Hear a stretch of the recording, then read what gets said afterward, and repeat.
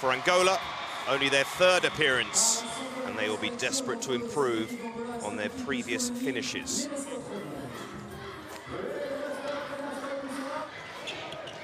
What can they do in France? Oh, that's what they can do. The first goal for Angola, scored by Antonio. Slovenia comes straight back. Tough group. Lead in the opening three minutes, and that's a two-goal lead. Slovenia will break down the other end and take advantage and has the tide turned in these early stages. Janc, not so from Angola, but they're in again and again denied. Skok,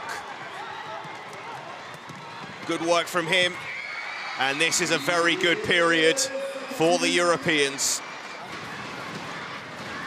Oh, that was a push in the chest. Free allowing play to continue, and that's a good finish from him.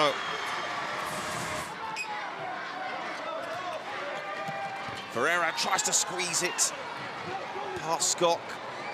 Oh, and there's a mistake at the other end, and it's punished.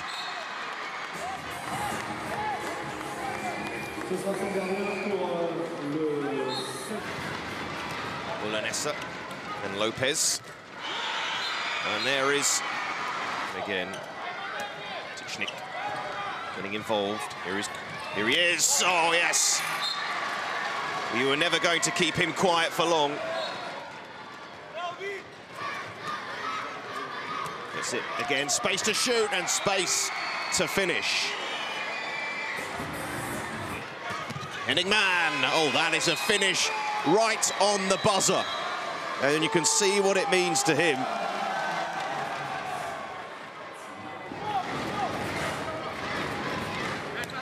Magdeburg man. Slovenia get the first goal of the second half to extend their lead to 10. For goals scored in the match. As Angola pull one back through Tessa. Angola looking to the referee. Passive play. They're not going to get the decision. Instead, they're going to concede another goal. Goal scorer in the match. Oh, that's a big miss from Vanessa. Here's a chance for Angola. They take it.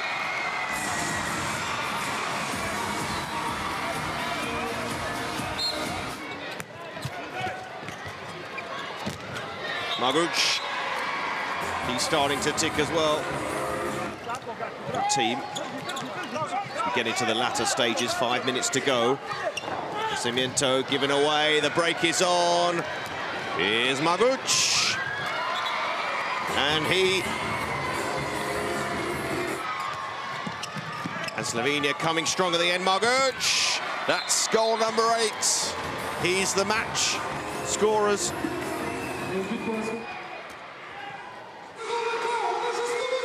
For these remaining moments.